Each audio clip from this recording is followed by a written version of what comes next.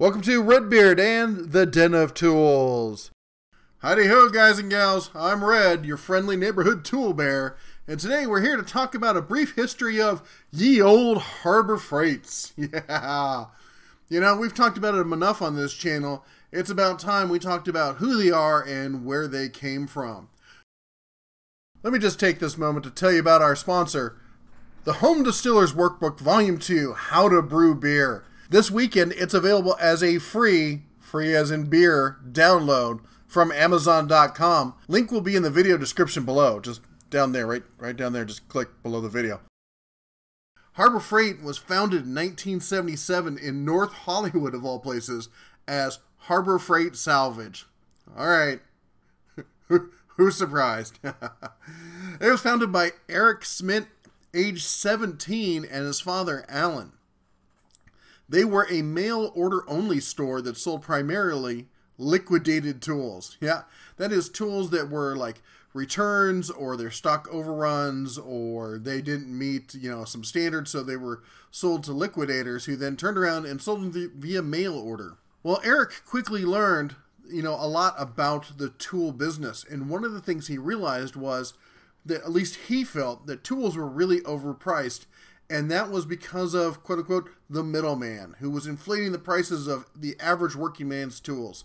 So he changed their business model and began to sell directly sourced tools.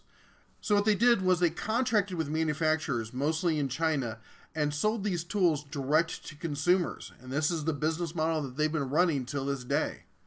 In fact, here's an ad that ran in Popular Mechanics back in the 80s. In 1980, Harbor Freight opened their first retail store in, of all places, Lexington, Kentucky, doing, guess what? Liquidating their own returns. Yeah, their first brick and mortar was nothing more than a, uh, a small outlet store selling off their own returns. Kind of, uh, you know, completing the loop, if you will. In 1985, they changed the name of the store to the name we know today. That is Harbor Freight Tools. Quality tools, lowest prices. Eric Smidt was then named president at age 25 and he moved the offices to Camarillo, California. Sorry if I can't pronounce that right. By the late 80s, they had 11 stores across the U.S. In 1997, they launched their first website. it looked a little something like this. Oh, wow. Talk about old school websites, huh? In 1999, Eric Smidt was named CEO. And by that time, their website looked a little bit more like this. Moving on until 2005 2006, when the economy hits a brick wall. And unlike many other stores that were forced to downsize, Harbor Freight doubled down, went into some serious debt, and managed to pull through on the high side, no less. 2010, they moved their headquarters to Calabasas, California, where they currently reside. Just to recap those store numbers, from 1980 to 1990, they had 11 stores in 91 to 2000, the next decade, they jumped from 11 to 103 stores. The decade after that to over 300. 2013 to 2014, now that's only two years there, they added another 200 stores. 2014 to 2015, they added another 100, at 600 stores.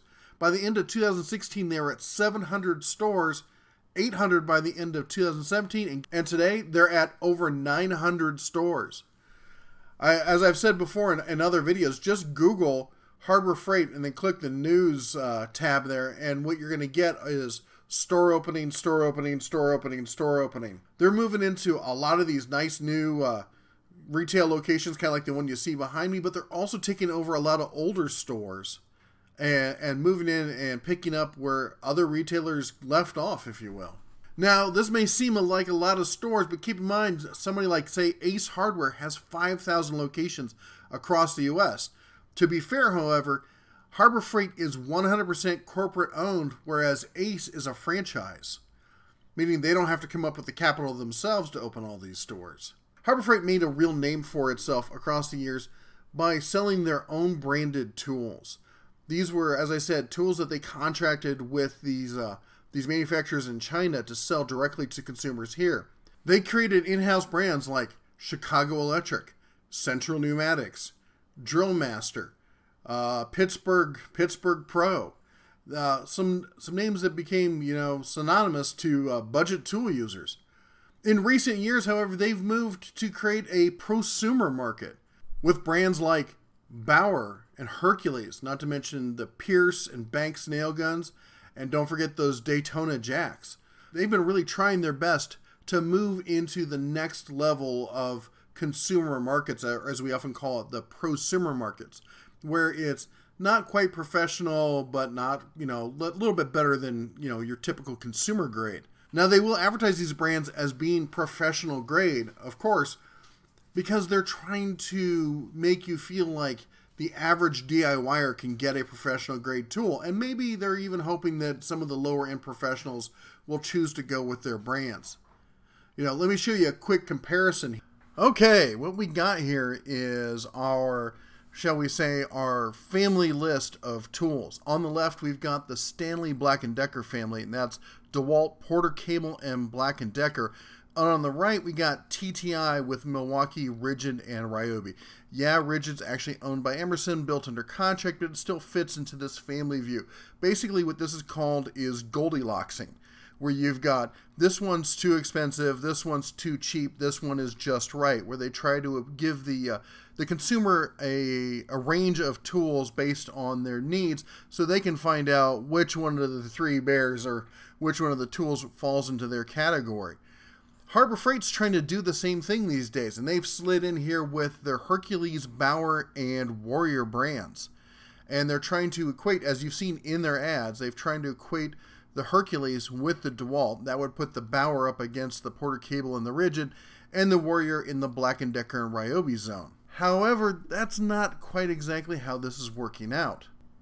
If we're going to be completely honest, it would probably look more something like this with the Hercules falling in probably not even quite, but close to the Ridgid and Porter cable line, and the Bauer more equivalent with the Ryobi and the Black & Decker.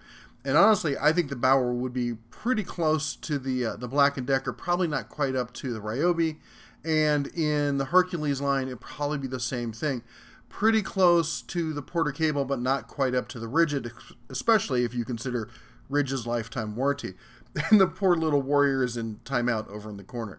Now, I did. I don't mind the warrior. I, I used it for that deck project I showed you uh, back at the house up in Montana. Uh, it was a small little outside project, and for around the house for your general basic budget-minded DIYer, the warrior's just fine. But it's not a tool line. There's the tool, there's a flashlight, and there's an, an extra battery you can buy. Yeah, they've branded some other tools Warrior, but they're plug-in. They don't use the batteries. So if it doesn't use the same battery amongst the whole, you know, other tools, or even if there are other tools, it's hard to consider it a line. And that, in reality, is where Harbor Freight falls into this, you know, Goldilocks zone. They're trying to get to that prosumer level. They've definitely upped their game, but the prices have gone up along with it. And while we may question some of the choices, like Hercules trying to compare itself up against DeWalt and Milwaukee, there's no doubting the fact that a lot of these lower end prosumers like Bauer and such have a lot of appeal to the DIY market and have been, by all accounts, quite successful. In fact, you want to know how successful Harbor Freight has been at this? Eric Smidt currently has a net worth of an estimated $4 billion. That's billion with a B. Just to give you some backstory, he's, he's not some rich kid who, who had money thrown at him to create this business.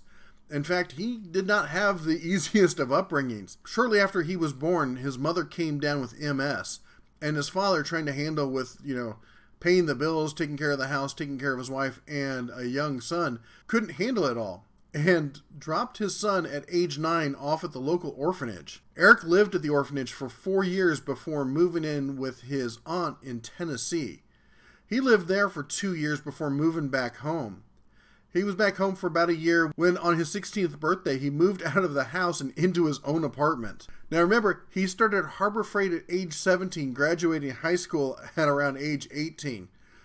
That's a guy who's a who's a go-getter. He's he's out there hustling. He's had to work hard to make the money he has. His yacht here, I think it's called Infinity, or when he's flying around, he's a he's a licensed uh, jet pilot flying around in his G650. Yeah, I, should roll some audio of that like a G6 here, but I know uh, I get copyright strike for that sort of thing. Thanks, YouTube. That is to say that Eric came into his wealth the old fashioned way. He earned it, he worked hard for it. And we have all these lovely Harbor Freight stores to thank for it. Now, I'll be the first, you know, I'm a Harbor Freight fan, but I'll be first to admit that not all Harbor Freight tools are great. There's a lot of them that are complete junk. There are a lot of them that are excellent deals that are really good tools for the DIYer and maybe even for, you know, some of the, you know, professionals out there. I know there's a lot of welders who who use those inexpensive Harbor Freight grinders all the time. And, you know, I'm a big fan of their uh, 12 inch sliding miter saw, the the dust collector, the the big two horse horsepower dust collector, is a basically a industry standard in DIYer shops across the U.S. Harbor Freight ha- has a warm and special place in our heart, and they continue to grow.